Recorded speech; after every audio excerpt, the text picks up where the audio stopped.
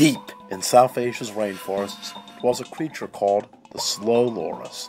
It's a lemur-like primate whose species proliferate, and all of them as cute as can be, spending all of their time in the trees. They move as slowly as their name, but that doesn't mean they can be tamed.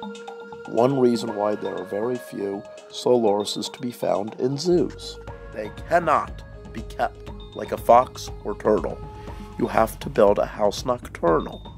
Like vampires, they only come out at night because their eyes are so sensitive to light. But they can also cause tremendous fright. Like vampires, too, they have a venomous bite. Their toxin can bring serious harm, yet comes not from their mouth, but their arm, which they lick before they strike, so their predators will take a hike. One even got famous on Insta for biting Lady Gaga. But there is a darker side to Loris fame than its appeal, its ferocity, or its name. Its defenses have been defeated, its numbers depleted by the illegal pet trade. People love slow loris so well, they want to make them their own.